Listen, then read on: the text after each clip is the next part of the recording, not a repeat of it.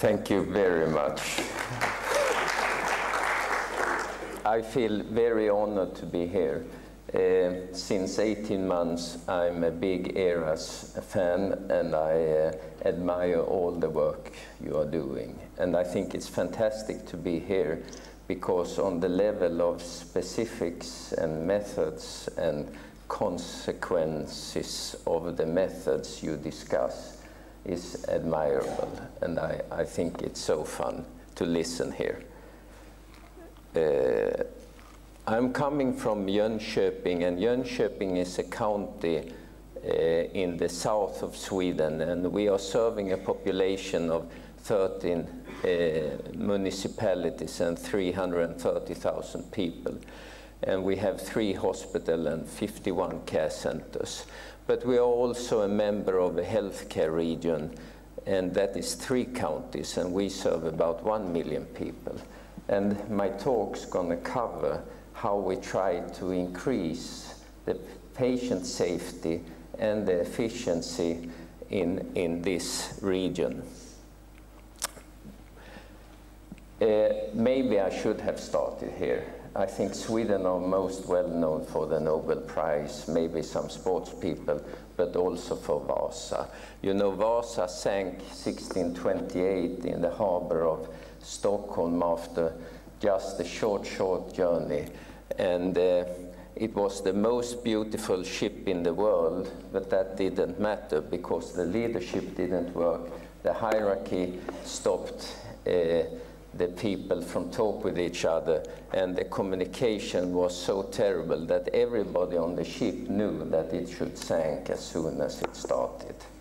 And uh, I think that that is a very important story when we think about safety. Now, um, Sweden has approved, at least in other communication areas, because I think we are one of the best countries in the world concerning traffic, and we have decreased the amount of deaths, and we have a zero vision in Sweden in traffic. And one of the main issues have been to block the, the streets so cars cannot move from one side to the other side. And that has decreased the amount of deaths down to 300 a year. Now, I have seen before during these days that you have cited Don Berwick, and I'm not sure that he is the primary person to cite in this uh, quote, but I think it's a very important quote when we talk patient safety. Every system is perfectly designed to achieve the result it gets. That means that if we continue to do what we always done, we will always get the same results. So we need to improve, but improvement also needs safety thinking. Now, my uh, part of the world are not working up here in a quality of evidence description, and I have heard during these days that you are circling around these areas, but my, my knowledge comes from well-designed non-experimental uh, things based on clinical evidence, descriptive studies or reports of expert committees. And it can also be uh, based on, on uh, very knowledgeable experts. And my work are mostly done in these areas where we have just enough data we try to change as soon as we have this data on board, and we do many sequential tests. And we are not using that much this part. And I understand that that can sometimes be a provocation when you want to be very specific. But I wanted to clarify this before we, I continue. Because I think that um, uh, ERAS is fantastic, and ERAS is the thing that can unlock the uh, system thinking in, in healthcare. And what I see in ERAS is that you have here a way to share in real time the data and you can develop a new way of problem solving and I think that the workforce engagements are there directly because of this. And we see that the good leadership develops uh, ERAS, and we can see that benchmarking and knowledge sharing becomes very crucial. And I, I really like that. In my county, we have had this approach uh, during the last four or five years, where we, in this 14 area, yes, this year it's 16, we have developed standardized work processes. We have uh, measures, both baseline and improvement measures, and we have uh, clinical groups, expert groups, and so on that uh, try to ensure that our inhabitants, every time they visit us, should have best possible care in these 14 areas. And when you visit our system, you can see dashboards like this, just as you use in areas everywhere concerning the different areas I just now pointed out. Why is this so important? Well, we are very thrilled of the idea that every patient should get the care they need when they need it. Because the two biggest questions, at least from my point of view, is that the patient have so much anxiety that we need to also take care of that. And of course, they want to stay in an autonomy situation so they can live the way they have lived before. Therefore, we try now to develop a new kind of patient involvement that we call patient partnership. And let me start with this positive provocation. This is from our self-dialysis unit.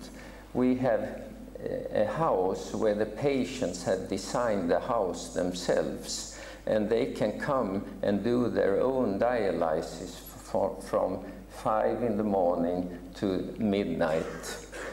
This has made it possible that all 16 patients that now do dialysis have a work on the work market.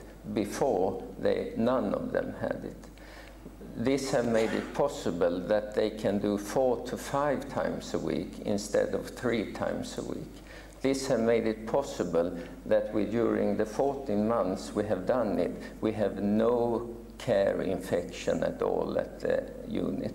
That's the only unit in our county that do not have any care infections. And we have seen that we have reduced the cost of managing the unit with 30%. So I think that in the patient partnership, there are tremendous opportunities. Another big positive provocation for us have been working with Michael Porter and his ideas that we should change the way we measure the results of our system's performance. We should talk about survival, degree of recovery, the time the recovery has taken back to normal activities, missed access to diagnostic care treat or treatment, durability of the recovery, or the long-time effect of the therapy. That is a different way of looking at healthcare. We usually look at healthcare from the clinical indicators perspective. I think we should look at care from this perspective then patient safety becomes something different. It is not only to risk minimize, it becomes to search for the good examples where it works very good every time and try to learn from them. So the big challenge in safety is to take away variation, that it is best possible every time and the idea that all the activities should increase the value and minimize the, the uh, waste. Now, what are the biggest challenges when you look at it is like this? Well, our experience is that the false demands are very uh, problematic. That is the things that happens while we are in touch with the patients at the hospital or through medication and so on. Increased infection risk, uh, patients that get ulcers, etc. Those things are just false dem demands that, we, that shouldn't be in our system. Now, um, René Amalberti has created this picture where he describes the risk. And he says that uh, nuclear industry, railways in France, and civil aviation, but also anesthesiology has a high uh, uh, safetiness and are nearly ultra safe. But he also describes that describes that most care are in this area where we do right 90 out of 100 times. And we need to change that, but the only way to change that is to develop people that becomes team players and accepting to become equivalent actors and accepting to endorse re residual risk and accepting to question the success and to change strategies. And I think this is a real challenge for us to develop the culture so we have people that are ready to doing this. And I think that ERAS can help us with this. So I really appreciate all the work you do. Why? Because ERAS gives us a, a process where we leave the person approach and go into the local organization and we don't run for the mosquitoes. We try to take away the real swamp instead. And that is the big thing. Why? Well, in Aridia and uh, Annals uh, Surgery 2009, we can read about uh, amount of complication increased after operation in colorectal cancer when some of the 15 most key points in best practice were not done. If all key points were done, 7% of the patients got complications. When four or more key points in best practice were missed, 42% of the patients got complications. This is why clinical programs guidelines are so crucial in our work. Now, do we have any risks? Well, this is a picture from one very simple medication and one very uh, dangerous medication. And there have been misses in Swedish care because of the looking of the uh, bottles. This is a daily report from my, to me from my uh, IT people around how we have problems with our patient record and IT system. And here you can see that we have uh, seven, uh, let me see here, nine different wrong referrals because of mistakes caused by the partnership between the computer and the doctor in the daily work. And those kind of risks shouldn't be there. It can be uh, very dangerous for the patient. This is another problem we have. This is the prevalence question around heart failure. And these are our primary care uh, areas. And here you can see that in one primary care area, we have only found 0.7 uh, percent of the inhabitants uh, with heart failure. And here in two areas, we have found them all, at least from what the science says. Now, how come we cannot find them in all the areas? That's a big safety problem. Another uh, area where we have seen that it is so important to work with the heart failure patients, and that is uh, connecting a nurse to the heart failure patient. And here you can see a control group that haven't had a nurse uh, contact, and the yellow is uh, no, it's the opposite. The yellow is the control group, and the red ones are the group with nurse contact. And you can see that they have many more days event-free. And this shows how important the partnership is to reduce the risk. Another very challenging problem we have is to see the colon cancer five-year survival when we can see that there are in our region of three different uh, counties such a difference in the results concerning uh, the women results. And among the men, we can see that the survival rate are about the same. How can we have a system that deliver this kind of differences? It's not acceptable. This is from Stockholm area, and here we can see that one hospital are performing so much better than the other eight in, in colon cancer care. And how can we have it like that? Why cannot the other eight do the same way and get the same results? Here is from hip replacement work and patient satisfaction. This is Oskarshamn, one of the hospitals in our region, and they have during the three years when we have measured patient satisfaction a much better result. How come we cannot change the culture so we get, get the same kind of level at the other hospitals. Here is from our own hip uh, replacement work in Jönköping. And here is an astonishing result that out of these patients that are dissatisfied after one year, it's one man and 10 women. Why are 10 women more dissatisfied than the men after hip replacement after one year.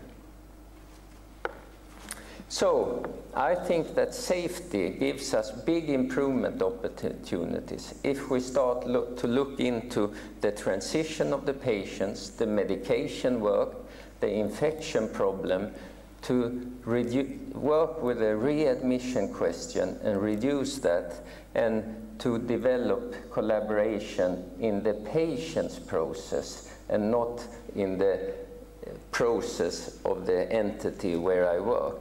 And then always try to work upstreams. How have we come to this problem? Well, my view is that most people in healthcare, they put all their knowledge into the diagnostic and treatment questions. But I think the results depends on how we work in the pre-diagnose and the monitoring parts also. And we have to do it much better work here and here, and of course here, to understand how we can improve this. A second thing that is very important, that is to learn from the positive deviances. In our county, we have learned from this small nursery home how we can reduce the falls to a minimum. And we are down to two or three falls in the county per month uh, today. And that saves us more than 50 million a year. We learned from our catheter work. Uh, and here you can see how we uh, have reduced the care-related cystite during one, and it's measured through a prevalence study, during one day uh, every month. And here is the level of the country, and here is the level of our county. That is done by a system approach. And here is the same thing, amount of patients with catheters. Uh, here is the level in the country, and here is the level in, in our county. We also get, got very encouraged when we saw that we could, by system approaches in patient safety, reduce the patient injuries at one hospital with 50% in three years. And it has continued, it's under 10 today. Why has this been possible? Well, we learned a lot from these three persons, Erik Hollnagel, David Woods, and Nancy Leveson, that told us that you should not look into the failures, you should look into those who do it right every time and try to learn from them and then do it your way, but learn from the best examples all the time. Therefore, I'm so provoked when I still can have a doctor's delay in colon cancer care, in primary care, 2011 in my system like this. And when we measure time from diagnosis to operation per hospital in our re healthcare region, we can see that it takes between 20, 15 and 49 days between the diagnosis and the operation as an average. But there are a lot of patients that have much longer time. And if you should reduce anxiety and keep your autonomy, these are very crucial questions. So in our region, we said, let's challenge ourselves. Let's promise our inhabitants that we should transform cancer care to a completely new level. So we eh, is, have promised our inhabitants that they should receive treatment within four weeks, that they should have best practice and clinical programs at place in all cancer processes, that they should feel very involved as partners every time, that the palliative care should be delivered no matter where you live, and the screening program should be set in place and the research should be patient-oriented. This has been a large provocation. We have a lot of professionals that think this is not necessary and this is not possible. But I think that this is what we have to do because that's the only way to show our inhabitants that we are there for them. Because the whole challenge is how we can use our clinical knowledge and service knowledge and improve that with the same amount of money. Every time we get more money, we reduce the value. So the patient safety work is all about taking away waste, best possible effectiveness, and understand that the change and learning is the earning, and everything is done by the team and the improvement groups. First, we have to change our view of how we think about processes. We map our patient's processes and say that before the patient meets the provider or the caregiver, everything should be in place. The investigation, the information, the competence, and the treatment plans. And we learned this from Motala, a primary care center in diabetes that are best in Sweden. They have standardized the work in diabetes to that level that they are world class for every patient in their geographic area. So how can we standardize the work so before the patient comes, everything are in place, both at, in our computers and for our caregivers, so the patient feel that we are the best possible prepared team. And we do this very mechanically. So we put up this patient's process and then we make them fill in different kind of programs that should be in place. Then we transform that into the IT system and the patient has full transparency to the information and what should happen uh, before they come. Of course, we need to find out if this works. I have now some uh, statistics from our analyze of how we are doing right now. And we, so this is a baseline, and it's done by Professor Rune Sjödahl, and he has used global trigger tool and a, a, new protocol that we call patient perspective protocol that tries to cover waiting times, amount of doctors contacts, and how the patient perceives that the information works contacts with the care because of stomach pain six months before the diagnosis. here you can see that the average is about two contacts, but you can see that if you come acute, the red ones, uh, there is a difference between uh, two of the counties. We try to see if, the if there are differences concerning anemia, and there you can see that the elective patients have anemia to 50%, but the acute patients do not have it. We try to look at the time from first visit to diagnose, and here you can see, uh, I think, a statistically proven difference between two of the counties that from the first visit to the diagnosis, it takes longer time in one of the counties. And time from operation to PAD answer, you can see that we have 21 days, and that is absolutely too long. We can do it in 10 days, and we know that the system can deliver it in 10 days. So why don't we perform at that level?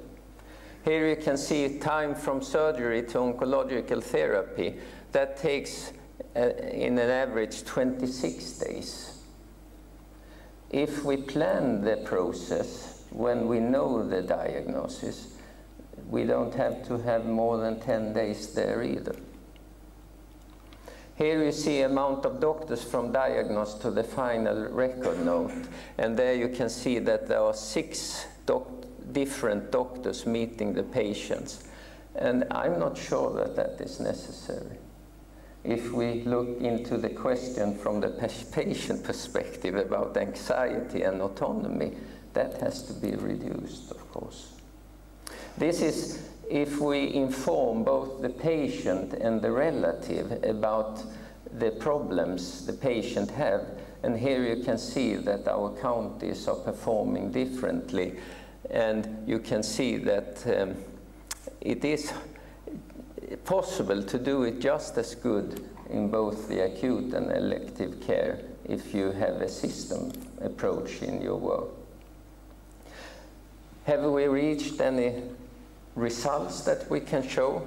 Well, the late, last 18 months, we have gone from not having a, a let me find a multi multidisciplinary, uh, multidiscipline therapy conferences uh, from a very, very poor level to a level that we are a little proud of. But we should, of course, reach 100% in the pre-operative uh, work, just as we have done in the post-operative work.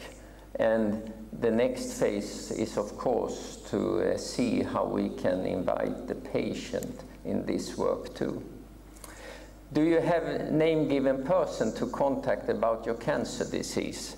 67% of our patients have that. That is not enough. It has to be 100% amount of CTC of total colon investigations at the radiology department. Here you can see a, leap and an in increase of the uh, access.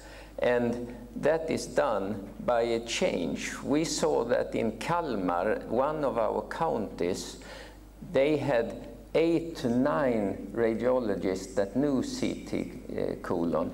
And at that time, we only had two, three in Jönköping.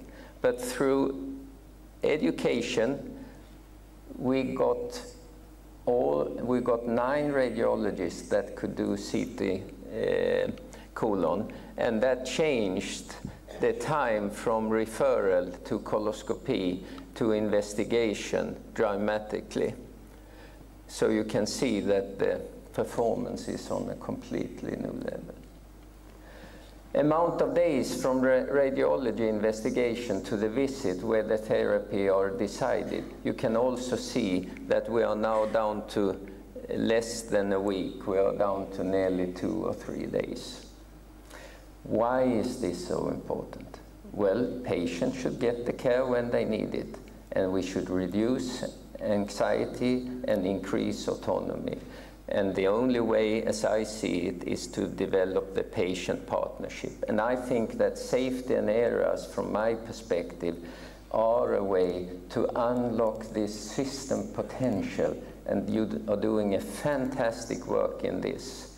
So keep on, learn from the people, plan with the people, begin with what they have, build on what they know of the best leaders. When the task is accomplished, the people all remark, we have done it ourselves. Thank you very much.